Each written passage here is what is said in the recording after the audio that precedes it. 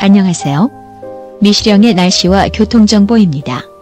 흐린 가운데 미시령에는 약한 바람이 불고 있습니다.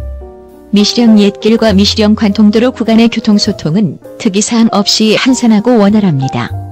터널 내에서는 차선 변경과 앞지르기가 금지되어 있습니다. 교통법규를 지키며 안전운행하시고 오늘도 행복한 하루 되세요. 감사합니다.